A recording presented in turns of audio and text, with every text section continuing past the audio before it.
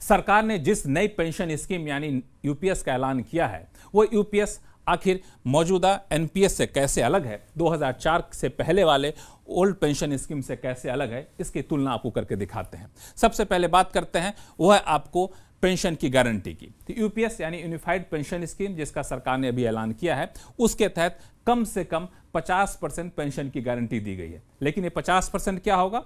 आप रिटायर होने से पहले, पिछले 12 महीने में जितना आपको सैलरी मिली है, उस सैलरी के बेसिक सैलरी का औसत निकाला जाएगा और उसका 50 परसेंट लिया जाएगा। लेकिन शर्त यह है कि 25 साल की नौकरी कम से कम होनी चाहिए। एनपीएस में ऐसी कोई गारंटी थी ही नहीं।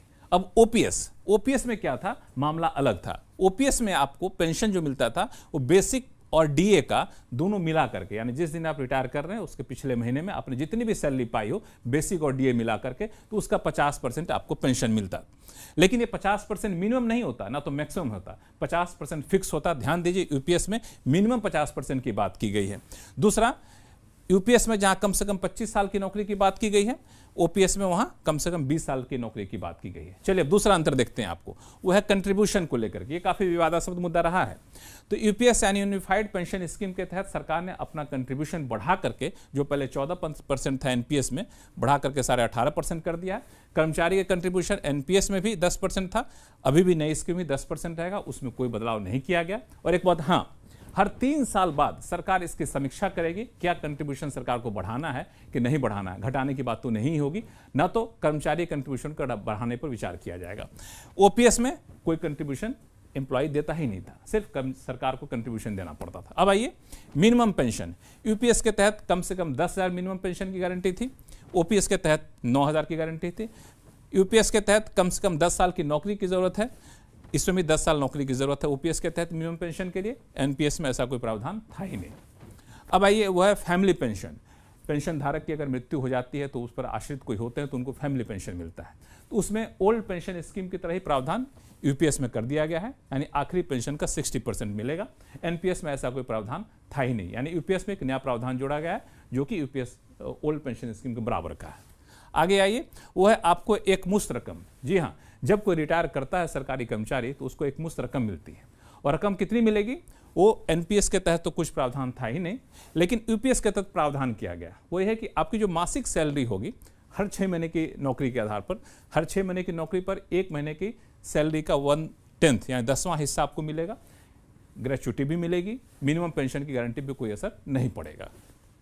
ओल्ड पेंशन स्कीम के तहत क्या था एम्प्लॉय ने अपने नौकरी के दौरान जितना भी कंट्रीब्यूशन किया है उसका 100 परसेंट आपको मिल जाएगा रिटायरमेंट करते ही। पूरा कंट्रीब्यूशन आपको वापस कर दिया जाएगा ब्याज समेत, और ग्रेचुटी पे कोई असर नहीं पड़ेगा।